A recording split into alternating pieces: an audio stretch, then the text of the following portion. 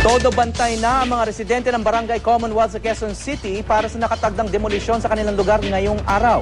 Ang mga residente ayaw daw ng gulo pero handang lumaban kung ipipilit ang demolisyon. May news to go si Julius Segovia. Julius.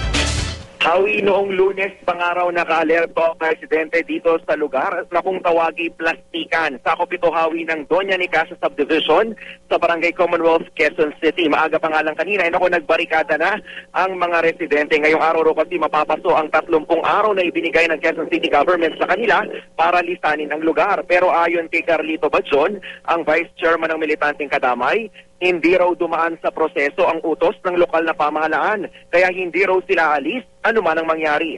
Kanina nga hawi, kapit bisig at sabay-sabay silang yumuko. Ganito raw nila haharapin ang water cannon sa bombahin sila ng tubig ng mga pulis.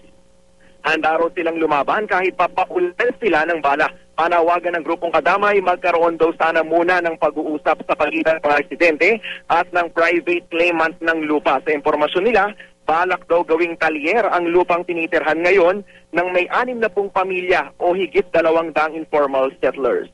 Yan muna ang pinakasariwang balita mula pa rin dito sa Commonwealth sa, Quezon City. Julius Segovia, GMA News.